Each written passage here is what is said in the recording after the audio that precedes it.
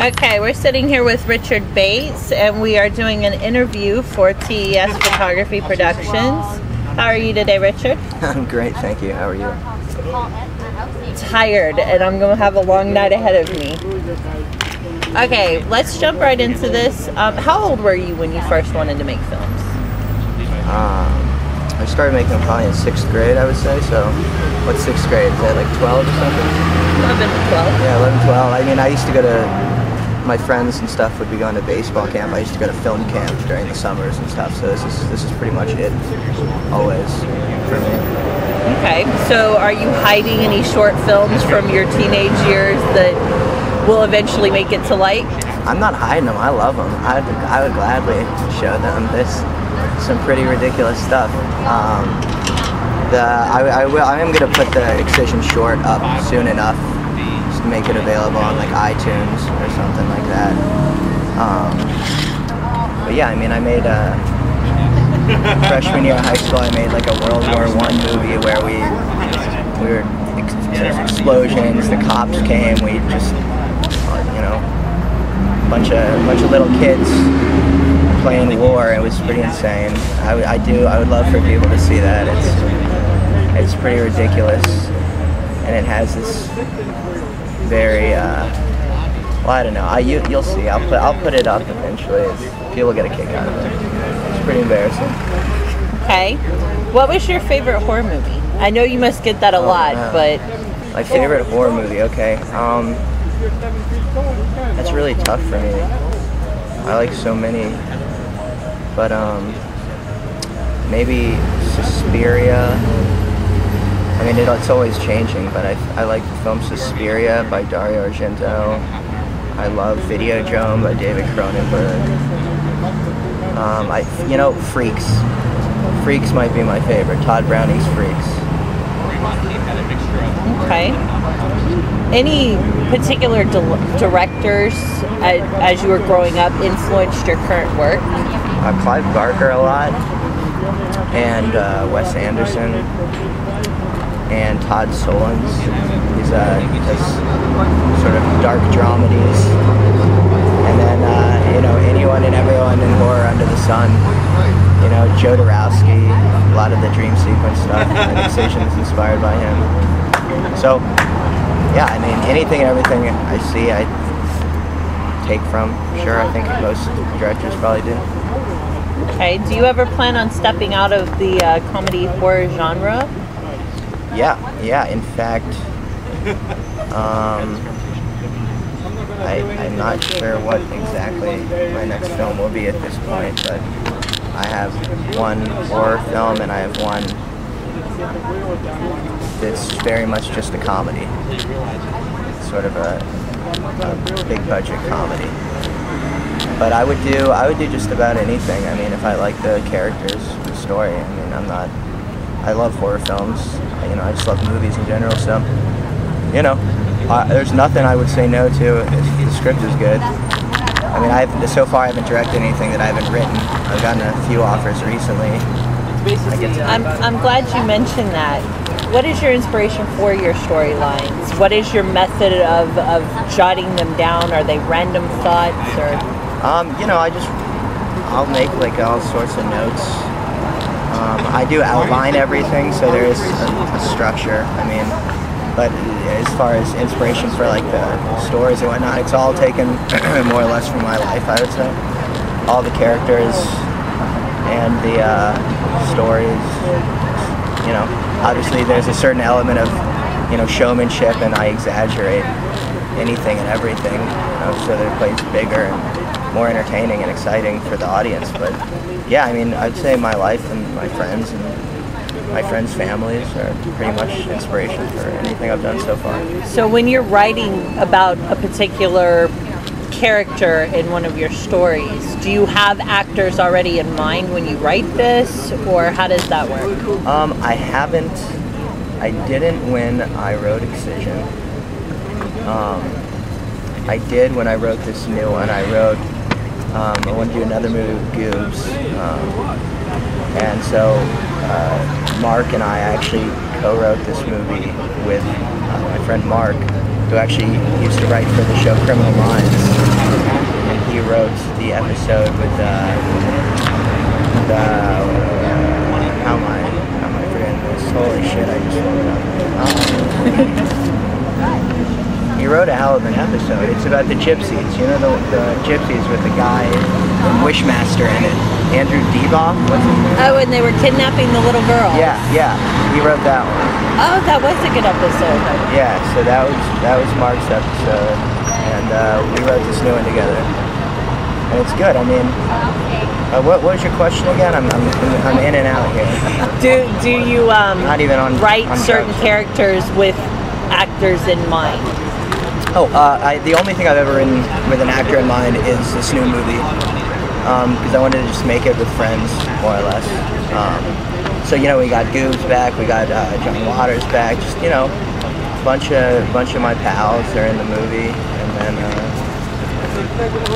you know, it's been 18 days. Had fun. The same producer as Excision uh, put it together for us, so you know, we, we had a hell of a lot of fun making this one. This one was one was pretty crazy.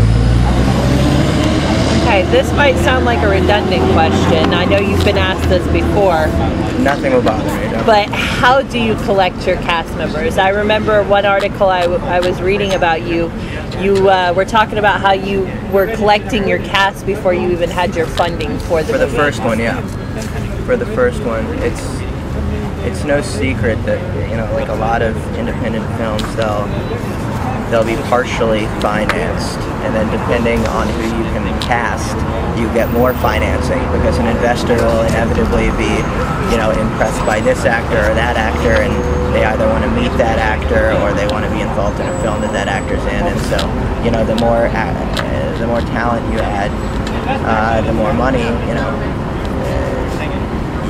it's kind of available to you. So I, I raised, I got a lot of this talent as I was raising money on Excision. It was my first film, so I had nothing to my name. I mean, I, I really, the, the way we put that together was more sort of entrepreneurship than how you would put an actual film together. I mean, I, you know, the producer would typically hire me, you know, to write and direct the project, but on Excision, I hired the producer essentially.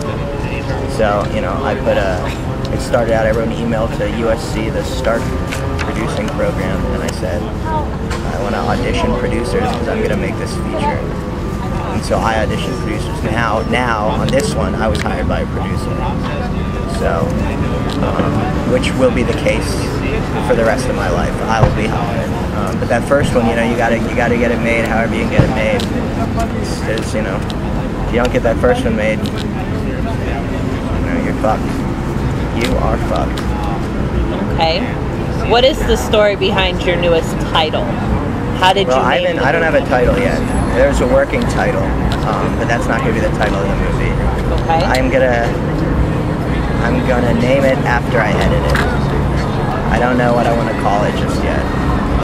Um, so once I have it put together in the coming months, I'll have a name for it. But the working title was Adventures of Raymond and Becca Haunting in Edge City. Yeah. Yeah, but that and that was supposed to be sort of a play off like a, an old Hardy Boys book or a Nancy Drew book, you know, um, even a sort of a box star children type thing. So we wanted it to be have that, you know, the title Adventures of Raymond and Becca, Book One, Haunting in Edge City. You know what I mean? Something like that to that effect.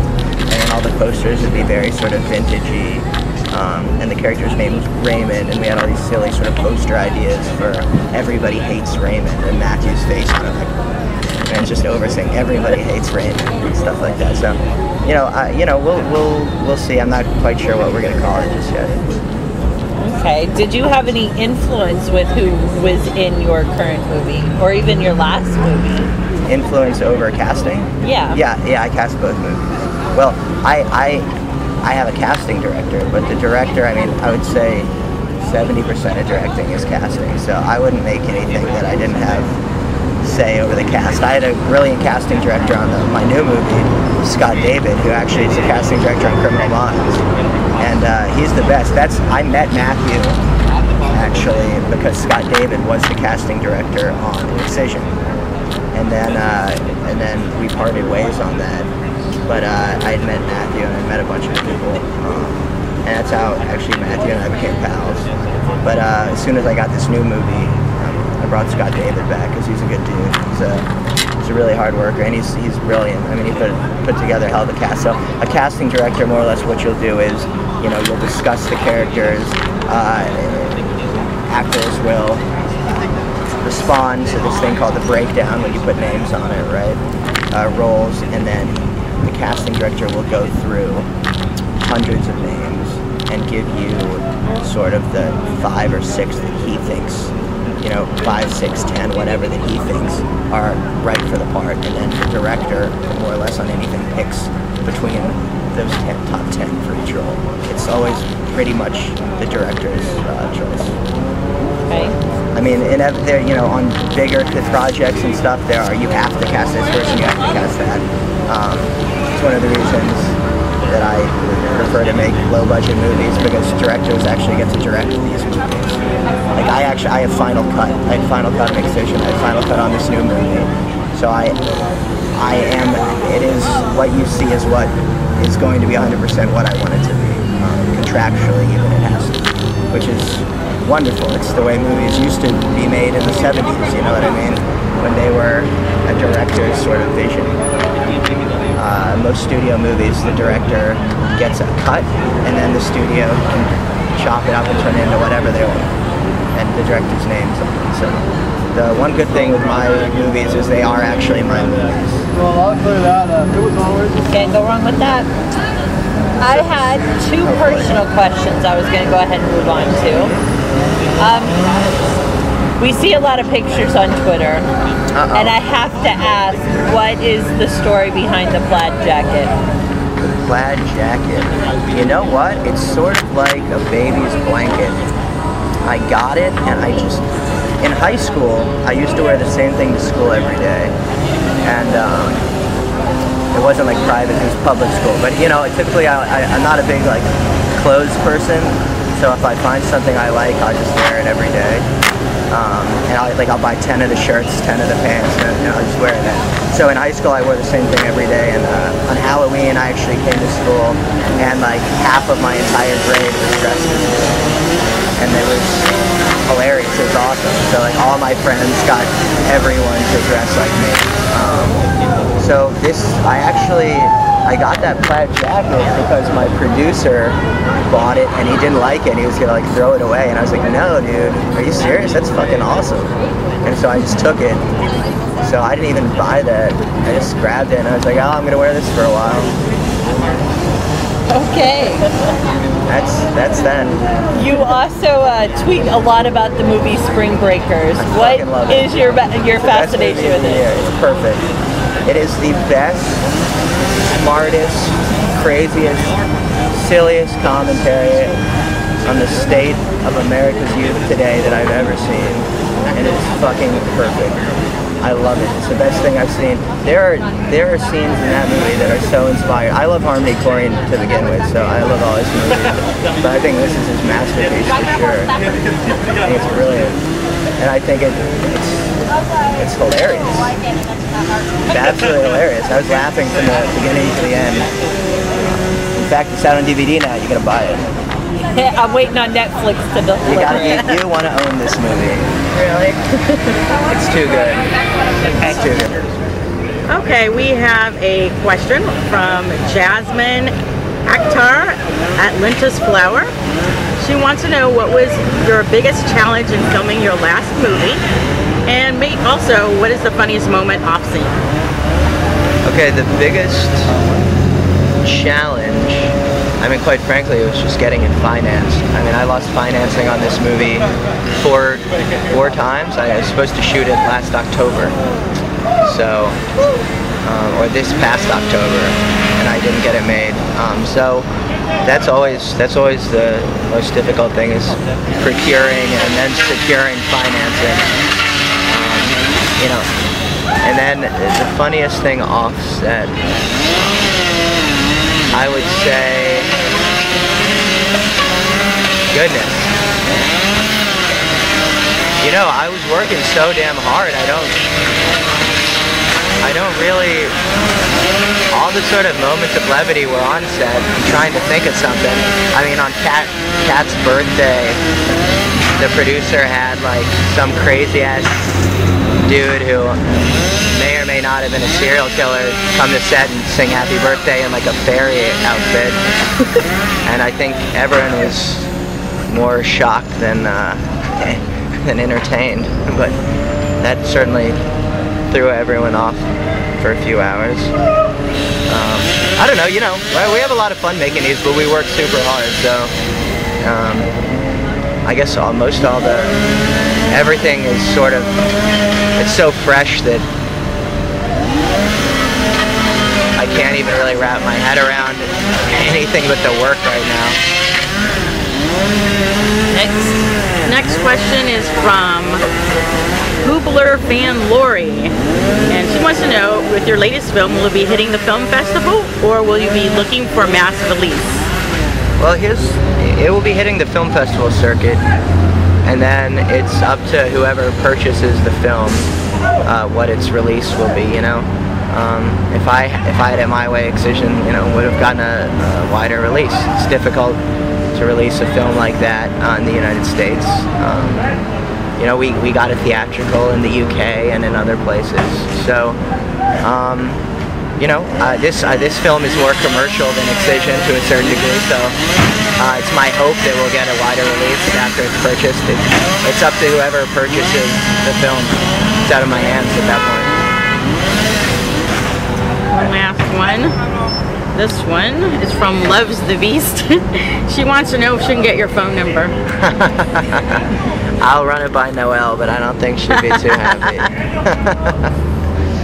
no, although no, no, Noelle, uh, Noelle's mad at me for not going to a party right now with her. So, so uh, if um, if ever there was a, a time she'd be okay with me taking someone's number and getting the hell away from her, it would be right now. uh, no, to answer your question, thank you. It's very nice. Um, trust me, you don't want to know me. your life is much better without me in it. Next question. Um, you want to go ahead and uh, give any inspiration and inspiring words to your fans, future directors, writers? What do you have to say? Well, I mean, goodness. I mean, if you want to be a filmmaker, it's really not that difficult if you're willing to just work your ass off. I mean, and be ready to take a lot of rejection. I mean, I've lost so many movies so many times. I'm only 28 years old, and I've, I mean, I feel like I've been shat on so much out here, but I never stopped. You know what I mean? You just have to persevere, I guess, um, and really throw yourself out there. But eventually, you will get that movie made if you keep if you just don't give up. Uh, you know. Um, a lot of people want to be filmmakers and when they realize how difficult it is, they quit. I mean, I remember in film school, even half the kids uh, you know wanted to be the next Steven Spielberg freshman year didn't want to make movies by junior year once they realized you know it's not what they you know they thought they were getting into um, in high school or watching the movies. This seems like fun, you know. Uh, it's it's a hell of a lot of work. It's the hardest thing I've ever had to do. Um, but God, it's so worth it when you see that movie play in front of an audience and you all sort of, you know, it's, it's a real connection. I mean, you can, you know, it's, it's like reading your diary to a bunch of strangers and you guys getting each other. It's, it's a wonderful thing. It's the best thing, feeling I've ever had. So I'm not going to stop anytime soon. Okay, well, thank you for taking the time to interview with us. It's been our pleasure getting to know you. It is uh, my pleasure getting to know you too. And uh, thank you for this uh, this wonderful afternoon at Starbucks. and, uh, and thank you to your photography company for doing this interview. It's very exciting. Uh, TC Photography. TES. Wait, say it again. TES. TES. Treasure shit. every smile. TES Photography, my favorite photography studio, company, one woman show, two woman show, whatever it is. Whatever you guys are doing, it's great. So Well, thank you. Thank you very much.